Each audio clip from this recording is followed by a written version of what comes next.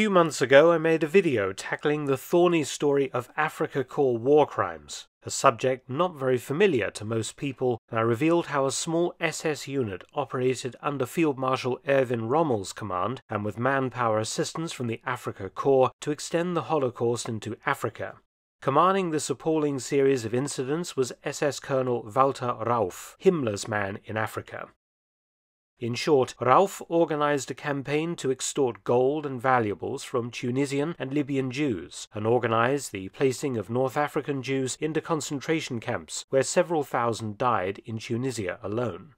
The results of all this plundering and abuse is collectively termed Rommel's gold, which is a little unfair to the Desert Fox, for though Rommel technically had command responsibility over Rauff, in reality Rauff answered to Himmler and not to the German army. Rommel had nothing to do with how the gold was amassed or its later disposition. Enlisted is a new kind of first person shooter that uniquely couples PvP with PvE combat. Take command of a squad of customizable AI soldiers and fight massive battles with hundreds of targets led by other players. Enlisted offers multiple campaigns to play through, featuring their own unique weapons, vehicles, and equipment. Today's video, Rommel's Gold, is set in the deserts of North Africa, and you can find this setting on Enlisted as well. Use the weapons and vehicles of the desert campaign, incorporating incredible graphics and detail. Enlisted is hardcore where it matters, a very short time to kill for infantry, and realistic damage models for vehicles. Play Enlisted now on PC, PlayStation, or Xbox using the link so how much gold are we talking about? Well, it's been estimated that Rauff accumulated bullion and objects to the value today of around 60 million pounds. Following service in Tunisia in 1942, Rauff transferred to Milan in northern Italy in 1943, there to head all Gestapo and SD operations in the northwest of the country. Rommel's gold was allegedly packed into six metal ammunition crates that were shipped by U-boat from Tunisia to German-occupied Corsica. From Corsica, the initial plan was to ship the gold to La Spezia in Italy, and thence by truck to Germany. All this detail was revealed long after the war by a Sudeten German who claimed to have been part of the operation to move the gold. In 1942, Peter Fleig was a 21 year old diver based with his unit at La Spezia, where he helped clear the port of British sea mines and also helped salvage damaged or sunken ships. On the 16th of September 1942, Fleig said he was ordered by Captain Ludwig Dahl to go to Corsica with his diving equipment to take part in a covert operation. Arriving in the German barracks at Bastia, Captain Dahl introduced Fleig to three German lieutenants, whose job it was to escort the six metal crates off the island to Germany. According to Fleig, this plan had been abandoned, as moving the crates by truck through Italy was too risky due to partisan activities and attacks by Allied fighter bombers.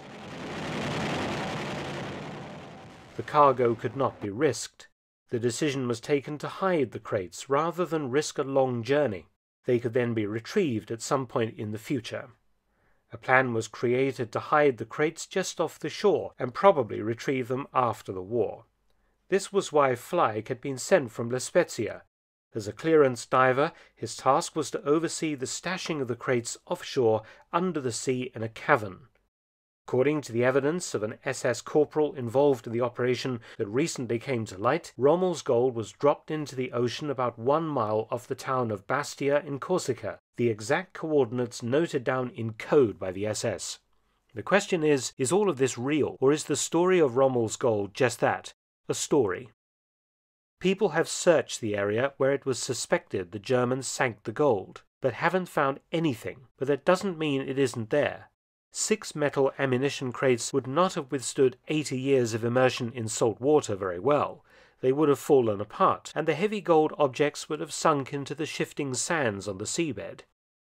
To recover them today would require a proper archaeological investigation and the hoovering up of tons of sand.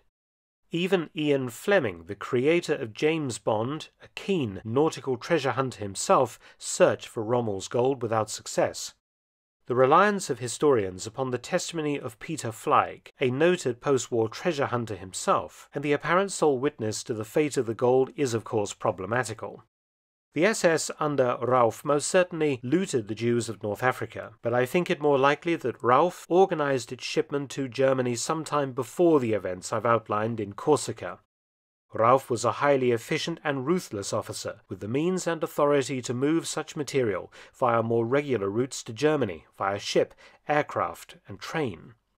It could be that the real Rommel's gold was moved not long before the events of the story and became just another shipment of Nazi loot destined for resmelting into Reichsbank gold bars. This gold among the huge German reserves that ended up hidden in a mine at Merkers in 1945 and was captured by the US Army. So what did Rauff have to say about Rommel's gold? Well, not very much. Captured in Milan in May 1945, Rauff was interrogated in a POW camp about his activities on the Eastern Front in North Africa and Italy, specifically his involvement in the Holocaust. He then managed to escape from a camp at Rimini and managed to get to Syria, where from 1948 he worked as a military advisor to the president during its war against Israel. Eventually, Rauff and his family ended up in Chile, in South America.